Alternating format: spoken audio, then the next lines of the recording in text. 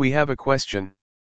How many milliliters of a 2.50 molar sodium hydroxide solution are required to make 525 milliliters of a 0.150 molar sodium hydroxide solution? Solution.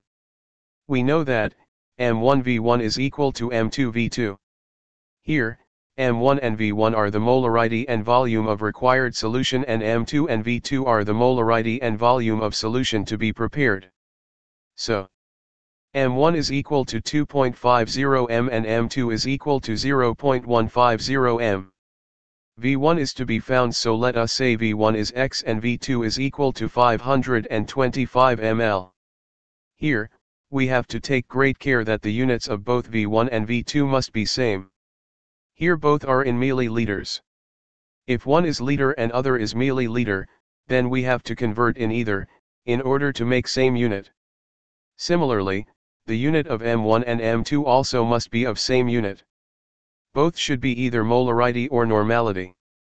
Now using M1V1 is equal to M2V2, we get 2.50 into x is equal to 0.150 into 525. Or, x is equal to 0.150 into 525 by 2.50. X is equal to 31.5 milliliters. Hence, the required volume of sodium hydroxide is 31.5 milliliters.